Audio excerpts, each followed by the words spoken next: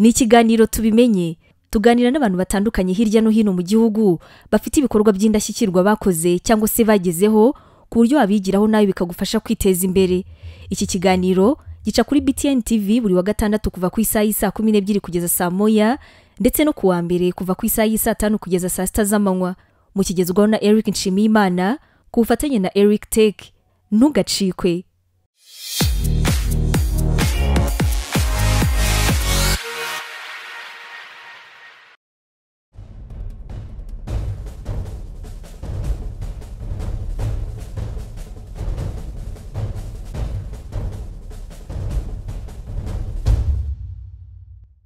Ikaze ni mu kiganiro tubimenye uyu munsi twasuye umutoni wa se nadine.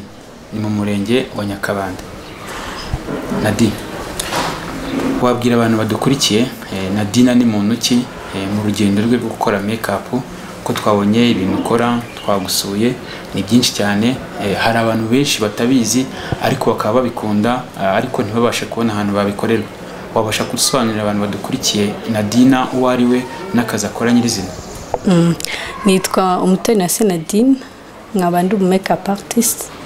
Eh, ku izina rya makeup dot beauty nadi kuri instagram.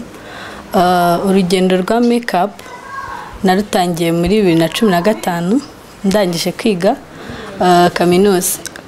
Muri shomaje kwa kundi uba utarabona akazi nta kintu umuntu yakora kugira ngo yiteze imbere atarindiriye ko abona akazi k'ibyo yize.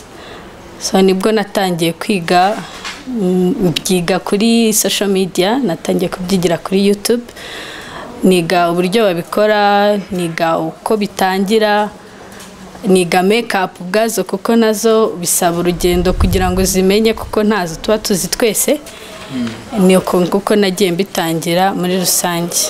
Nkaba nanabikora ubu ngubu kuva ubwo hashize imyaka itanu mbikora.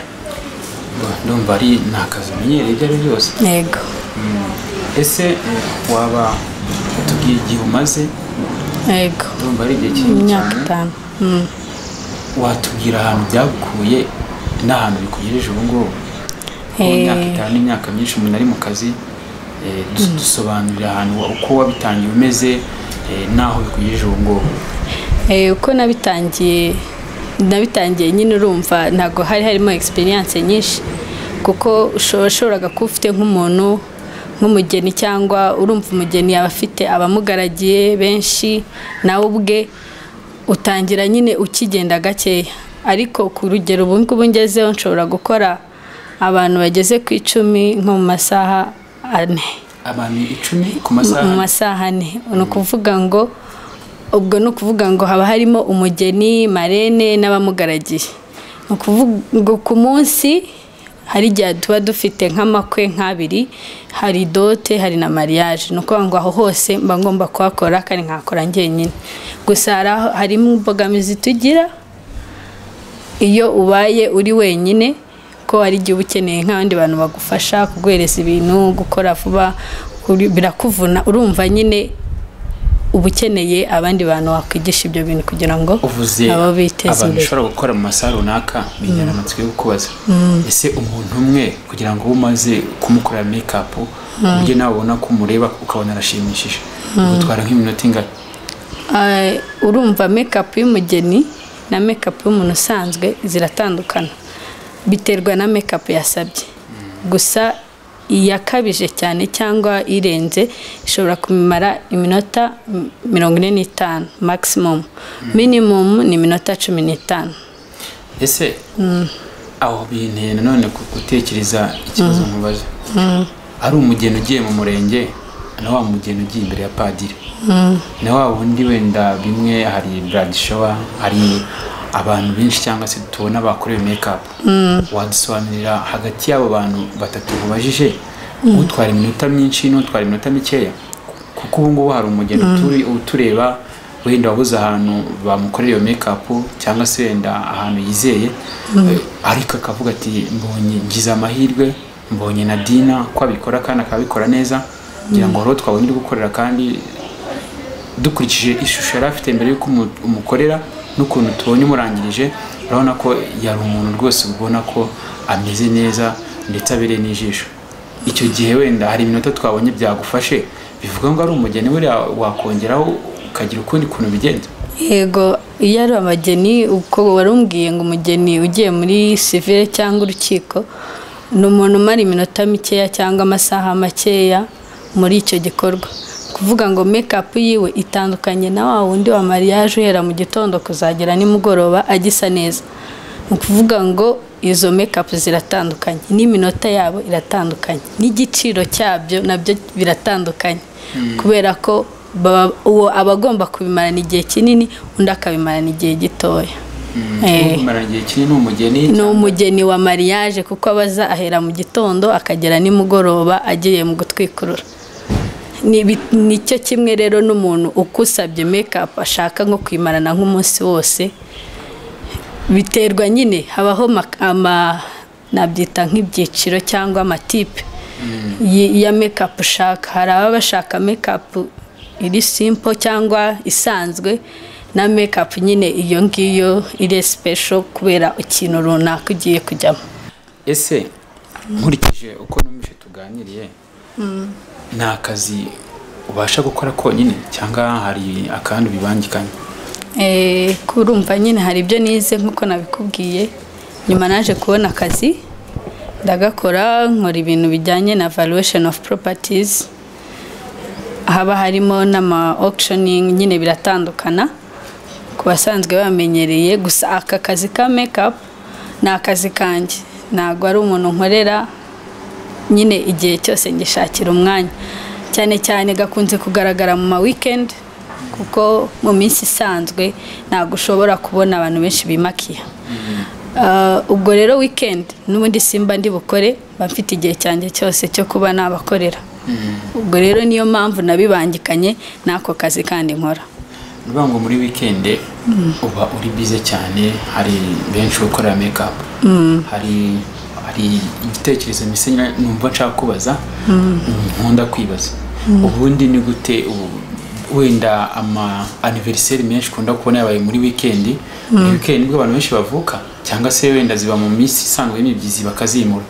Eh, abantu benshi iyo yabaye mu mibyizi abantu benshi bari mu kazi noneho bakavuga bati reka twimure pati izabe wikendi ariko ntabwo bivuze ko aniveriseri ziba muri wikendi gusa. Ni ukuvuga ngo Eh. kuriya twuma ngo umuntu yavutse mu- muri wikendi hari igihe aba yarayimuye. Ye aba yarayimuye kugira ngo nyine niba ashaka ko ikirori cye kigenda neza agomba kuba yabipanze neza ubwo akaba yanakoresha mekapu muri icyo gihe. Mbo mm, hari ikindi numvise nshaka kubaza wenda igiciro hari igihe ari ibanga ryawe? Ariko niba ushaka kuvuga uti buri umuntu hari igiciro runaka nashyizeho cy'umugeni hari igiciro runaka cy'umuntu wagize birthday hari igiciro runaka cy'umuntu ugiye muri mariage civile. Niko bimeze cyangwa se ufite uburyo uganira n'umuntu ku giti cye hakabaho ibiciro runaka wongera ukumvikana nawe. Mm. Eh, nk'uko ubivuze ntabwo tubaza ntabwo igiciro kiriho kubera ikintu agiyemo. Ni igiciro bitewe na mekapu ashaka. Kuko ibyo agiyemo bishobora kuba ari we abivaluinga cyane akavuga ati nkeneye mekapu ya mbere wenda nakwita icyiciro cya mbere. Nkeneye ko unyongereraho ingohe nkeneye ko ukora ibi ngibi ibi n'ibi. Ni ukuvuga ngo kubera ko bya bindi ingohe ziragurwa. Hari ibyo uba ugura ubwo nawe igiciro cye kiriyongera. Ashobora kubikora agiye mu bukwe ashobora no kuba kubikora agiye mu- muri aniveriseri nk'uko babivuze ariko tuca ibiciro bitewe na mekapu ashaka. Eh, muri make we nka nadina eh, uratanga ikaze ku bantu bose bakeneye mekapu nkurikije uko unsubije eh, bigaragare ko yaba ari uwitabiriye ibirori runaka yaba ari no- na nyiri kubikorerwa nyirizina nta muntu heza ubishaka wese. Ari karibu. Ese ubu nanjye nje n'abagabo rwose turabasiga. Cyane ah. cyane abagabo bakunze kwisiga ni abamodo bano berekana imideri cyangwa abantu bakora abanyamakuru nkawe ahubwo karibu. Ko nta musore twasanze hano cyangwa umugabo ko twasanze abakobwa Ah, ubu ngubu nibo nakoreye ariko ubwo wazagaruka nkakwereka nasize n'umugabo. Ariko ugiye kuri instagram yanjye wamusanga hariho. Usanga ubwo uraza kutubwira iyo ukoresha kugira ngo abakeneye kureba ubwo bwiza eh, uha bagenzi babo baze kubibona. Eh. Nk'umuntu umenyereye mekapu kandi watubwiye ko hari n'akandi kazi ukora. Hari uburyo wavuze bibangikanya ariko ntiwadusobanurira neza ku buryo bwimbitse. Eh, ni gute watanga inama? Hari bagenzi bawe bazi gukora kano kazi ariko batinya kugakora kuko bafite akandi kazi. Wagira mesaje ubaha? Eh, kubyigisha turabigisha Ah, abo nigishije benshi bashakaga kujya bimakiya bisanzwe byabo atari ibyo kujya gukora nk'umwuga. Ariko byaba byiza ubikoze nk'umwuga kuko urumva wikendi ntago abantu benshi baba bafite akazi kenshi ko gukora kuko uba wakoze mu minsi y'imibyizi ubwo rero urumva ufite umwanya cyangwa wumva ubikunda wanabasha kubikora uba ugomba kugira ku- kuba wabikora nta kibazo byagutwara. Kandi byinjiza n'ubundi amafaranga akongera kuri ya yandi wa- wahabwaga.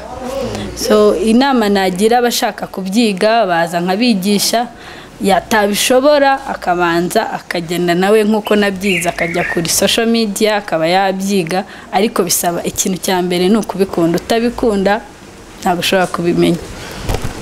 Nongere nibutse abadukurikira ni mu kiganiro tubimenye kuri BTN TV tuganira n'abantu batandukanye bafite ibintu byinshi bakoze kandi bigirira sosiyete nyarwanda akamaro. Uyu munsi turi mu mujyi wa kigali mu karere ka nyarugenge umurenge wa nyakabanda. Twasuye eh, umwari cyangwa se umukobwa umutoni wa senadina ni umumekapu ngira ngo nk'uko twakomeje kubiganira yatuganirije ibintu byinshi bitandukanye kandi atanga n'inama ku bantu bakorera ibya mekapu ku musozo wagira ikintu cyangwa se inama utanga niba ari abo wigisha eh, niba ari n'abo ushaka guhamagara kugira ngo baze babyigishe kuko kano kazi nkurikije uko nakabonye ubikoze neza kandi ubikunze wabasha kugira abantu benshi ubikorera kuko niba tubona amafoto hirya no hino atandukanye ubukwe hirya no hino butandukanye ni uko baba bakeneye abantu nkawe kandi niba hari n'imbogamizi uhura na zo ibyo ari byo byose mbere yo gukora akazi kose ugomba kubanza ukaba umwizerwa kandi n'impamvu tuba twagusuye ni uko hari amakuru tuba tugufiteho y'uko akazi kawe gakora neza kandi abantu bakakugana ari benshi. Tukifuza rero nuko wabisangiza abandi bantu batandukanye hirya no hino.